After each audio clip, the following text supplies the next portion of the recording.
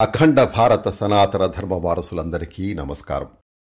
ఓం నమో భగవతే వాసుదేవాయ. మనకి శ్రీకృష్ణ పరమాత్మ గురించిన లీలా విశేషాలు తెలిపే గ్రంథం శ్రీమద్ భాగవతం ఇది అందరికీ సుపరిచితమే. ఎందుకంటే భాగవత సప్తాహాలు అనేవి వినే ఉంటారుగా. నిజానికి శ్రీమద్ భాగవతం అనేది విష్ణుమూర్తి అవతార విశేషాలు చెబుతూ దశమ స్కందంలో శ్రీకృష్ణ పరమాత్మ లీలా విశేషాల ఘట్టం మొదలవుతుంది. అది కూడా రాధాకృష్ణ భక్తులకు కాస్త అసంపూర్ణంగానే అనిపిస్తుంది అనుకోండి ఎందుకంటే శ్రీమద్ భాగవతం అనేది విష్ణు సంబంధమైంది కాబట్టి అందులో రుక్మిణీ కృష్ణుల గురించి మాత్రమే ఉంటుంది. రాధాకృష్ణుల గురించి ఉండకపోవడమే ఈ అసంతృప్తి. ఇంకా ఏమైనా గ్రంథాలు ఉన్నాయా అంటే బ్రహ్మవైవర్త పురాణంలో ఇంకా లోతైన విశేషాలు మనకి శ్రీకృష్ణ పరమాత్మ గురించి కనిపిస్తాయి. మనకి విష్ణు భాగవతం కృష్ణ భాగవతం అనే రెండు రకాలుగా పండితులు వ్యవహరిస్తారు. శ్రీకృష్ణుడు అంటే విష్ణుమూర్తి అవతారాల్లో ఒక అవతారం మాత్రమే అని చాలామంది అనుకుంటారు. కానీ అది వాస్తవం కాదు. నిజానికి వాంగ్మయం ప్రకారం శ్రీకృష్ణుడి యొక్క అనేక రూపాల్లో ఒకటే విష్ణుమూర్తి కూడా. ఈ విషయం పురాణ వాంగ్మయంపై అవగాహన ఉన్నవారికి తెలిసే ఉంటుంది.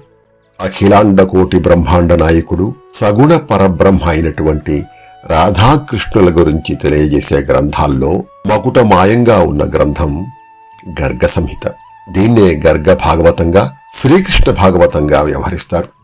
చాలా వరకు గర్గ సంహిత మనకు అందుబాటులో లేదు.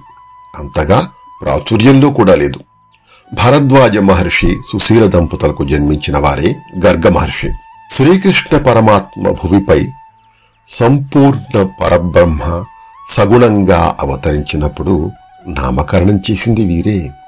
ఆయన అందించిందే ఈ గర్గ సంహిత లేదా గర్గ భాగవతం.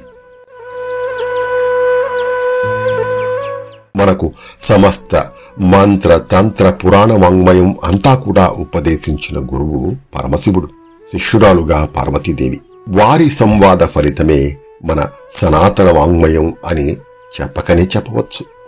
అయితే గర్గభాగవతం ఎలా ఆవిర్భవించిందో ఇప్పుడు తెలుసుకుందాం. ఒకసారి కైవల్యప్రదమైన కైలాస పర్వతంపై శివుడికి పార్వతీదేవి ప్రణామం చేసి ప్రభు మీరు పూర్వం విష్ణు సహస్రనామాలు చెప్పగారని ఆనందించాను. ఇప్పుడు సగుణ పరబ్రహ్మ అయిన శ్రీకృష్ణ పరమాత్మ దివ్య లీలా వైభవాన్ని దయతో నాకు తెలపండి అని అడిగింది. అందుకు సంతసించిన ఈశ్వరుడు ఈ విధంగా చెప్పసాగాడు. దేవి రాధా మనోహరుడైన శ్రీకృష్ణుని దివ్య చరిత్ర ఉన్నది.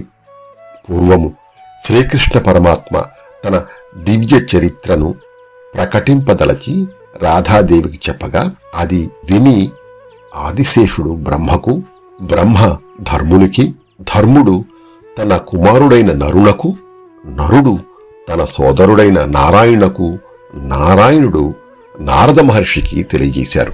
నారద మహర్షి ఒకనాడు గర్గాచలంపై తపస్సు చేసుకునే గర్గ మహర్షి దగ్గరికి వెళ్ళి ఓ మహర్షి నేను నీకు సంక్షిప్తంగా శ్రీకృష్ణ పరమాత్ముని గాథను తెలియపరుస్తాను.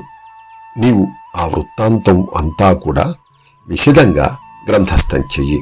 నేను చెప్పిన తర్వాతనే వ్యాసమహర్షి శ్రీమద్ భాగవత రచన చేశాడు. నేను నీ గ్రంథాన్ని భక్తుల్లో అగ్రగణ్యుడైన బహుళాన్మునికి వినిపించి ప్రశస్తికి తీసుకువస్తాను అన్నాడు. దానికి గర్గ మహర్షి ఆనందంతో సమ్మతించాడు. మయావై సంహితాయాంచ కథ కృష్ణస్య వర్ణిత పరిపూర్ణ తమస్యాపి యథా దృష్టా తథా శృత నేను స్వయంగా చూసినవి ఆప్త జనుల వల్ల విన్నవి అయినటువంటి చిత్ర విచిత్రములైన శ్రీకృష్ణ పరమాత్మ లీలలు గర్గ సంహితగా రచించాను అని గర్గమహర్షుల వారు పేర్కొన్నారు. గర్గ మహర్షి పన్నెండు వేల శ్లోకాలతో రచించిన ఈ సంహిత నారద మహర్షి బహుళాశ్వ మహారాజుకు చెప్తున్నట్టుగా రూపొందించి తన వినయాన్ని నిరూపించుకున్నాడు. యదాహి రత్నై నవభిర్విరాజతే దేవాంగులౌ తప్త సువర్ణముద్రిక తథా చతుర్వర్గ ఫలప్రదేవిదౌ సర్గై విసర్గై మునిగర్గ సంహిత శ్రీకృష్ణ పరమాత్మ వేలికి ఉన్న బంగార పూంగరంలోని నవరత్నముల వలె గర్గమహర్షి రచించిన ఈ గర్గ సంహిత నవఖండములతో విరాజిల్లుతున్నది. ఇది చతుర్వర్గ ఫలప్రదాయకమైంది అని నారద మహర్షుల వారు పేర్కొన్నారు. ఈ గర్గ సంహితను శ్రవణం చేయడం వల్ల విశిష్టమైన ఫలితం లభిస్తుంది. అందుకు ఎన్నో ఉదాహరణలు. వాటిలో ఒకటి పూర్వం మధురా నగరాన్ని ఉదాత్త చిరుతుడైనటువంటి ప్రతిబాహు అనే మహారాజు పరిపాలించేవాడు. అతని భార్య పేరు మాలిని. వారికి సకల సంపదలు ఉన్నప్పటికీ సంతానం లేకపోవడం వల్ల మనశ్శాంతి లేకుండా పోయింది. ఒకనాడు వారి అంతఃపురానికి శాండిల్య మహర్షుల వారు వచ్చారు. శాండిల్య మహర్షి ఆ ఇద్దరి దంపతుల మనోవేదన తెలుసుకుని దానికి నివారణోపాయంగా గర్గ సంహిత శ్రవణం చేయమని వారికి హితవు చెప్పారు. అప్పుడు ప్రతిబాహు మహారాజు శాండిల్య మహర్షితో మహాత్మ సకల శుభప్రదమైన గర్గ సంహితను దయతో మీరే మాకు వినిపించండి అని కోరాడు. శాండిల్య మహర్షికి దానికి అంగీకరించి యమునా నదీ తీరంలో గర్గ సంహిత ప్రవచనాన్ని ఆరంభించాడు. ఈ సంగతి తెలుసుకుని మధురాపుర వాసులందరూ కూడా అక్కడికి రాసాగారు. భక్తి శ్రద్ధలతో తొమ్మిది రోజులు నవాహం శ్రవణం చేయగా ప్రసన్నుడైన శ్రీకృష్ణ పరమాత్ముడు రాధా సమేతంగా ప్రత్యక్షమై వారిని ఆశీర్వదించారు. ఫలితంగా ఒక శుభముహూర్తంలో మాలిని గర్భవతి అయి సుబాహుడు అనే కుమారునికి జన్మ ఇచ్చింది. ప్రతిబాహు మహారాజు ఆనందానికి అవధులే లేకుండా పోయాయి.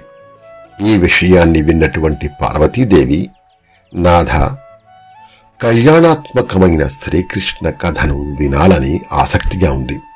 దయతో తెలపండి అని కోరింది. అందుకు పరమశివుడు ప్రసన్నుడై కృష్ణ కథామృతంతో నిండినటువంటి గర్గ సంహిత గర్గ భాగవతాన్ని వినిపించి ఇలా అన్నాడు. పార్వతి నీవు కలియుగంలో గంగా తీరంలోని బిల్వ కేశవవనంలోని సిద్ధపీఠంలో శ్రీరూపిణిగా అవతరించి గర్గ సంహితను మళ్ళీ మళ్ళీ వినగలవు అని పలికాడు. ఇలా గర్గ సంహిత అనేది అవతరించడం జరిగింది. మనకు నవవిధములైనటువంటి భక్తుల గురించి తెలుసు.